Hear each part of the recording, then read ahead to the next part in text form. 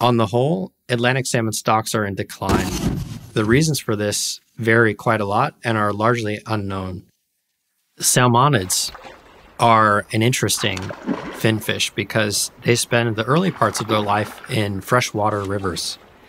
When they grow to a certain stage, they swim out into the wide ocean. And at that point, they gain most of their biomass feeding in these rich, bountiful waters in the marine system.